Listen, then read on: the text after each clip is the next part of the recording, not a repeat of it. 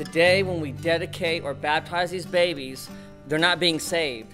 We are committing to them as a family that we are going to do our best to raise them and to help their parents raise them to make a decision one day on their own to follow Jesus Christ as their Lord and Savior. And today we're coming together as a family and we're saying, these babies the Lord has given to us, He's entrusted to us so that we can create the best environment and give them the best opportunity for God's love to fill them, for God's love to lead them into a relationship with Jesus Christ one day. And then one day we'll gather again as the Lord leads them to Himself to celebrate their baptism as adults, the day that they decide for themselves to follow Jesus, to serve Jesus, and to love Jesus with all of their life.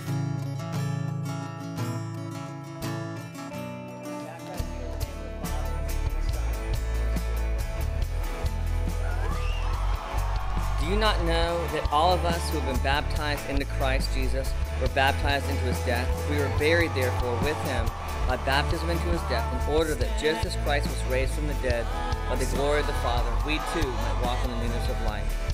For we have been united with him in a death like his. We will certainly be united with him in a resurrection like his.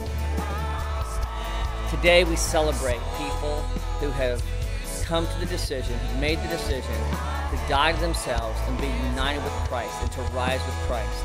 There's nothing more exciting than seeing people become who they've always been created to be. And baptism is a celebration of people discovering who created to be, coming into a relationship with Jesus. It's only in our relationship with Jesus that we will fully realize our potential to bring his kingdom and to love people into this world. And we celebrate the work of Christ today, the work of Jesus in their individual lives, but also we celebrate the work of Jesus in and through River City Church and bringing the kingdom of God to this world.